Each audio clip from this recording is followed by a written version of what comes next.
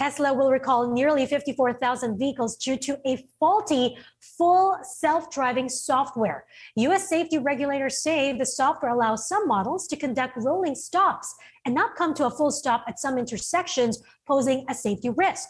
The recall covers Model S sedans and X SUVs from 2016 through 2022, 2017 to 2022 Model 3 sedans, and 2020 to 2022 Model Y SUVs. Tesla will perform an over-the-air software update that disables the rolling stop functionality.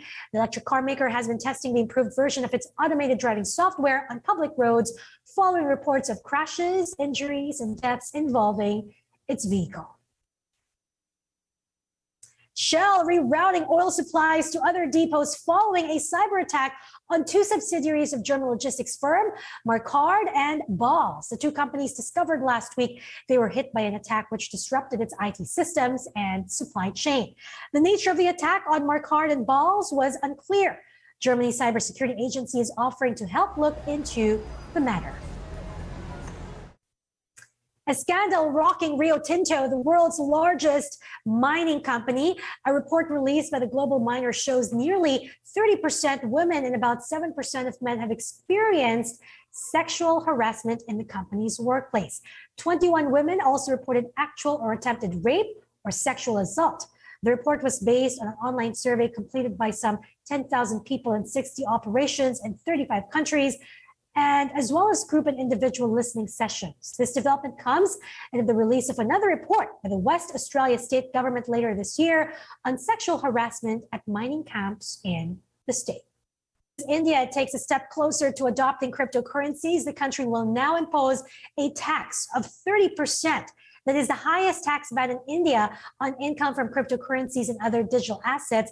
It's a swift reversal from a proposed measure presented in November last year that aimed to ban Indians from trading digital coins. India's central bank will also introduce a digital currency using blockchain and other supporting technology.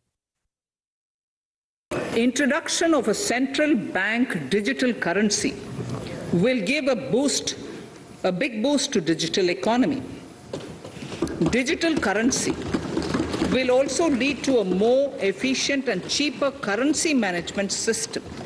It is therefore proposed to introduce digital rupee using blockchain and other technologies to be issued by the Reserve Bank of India starting 2022 and 23.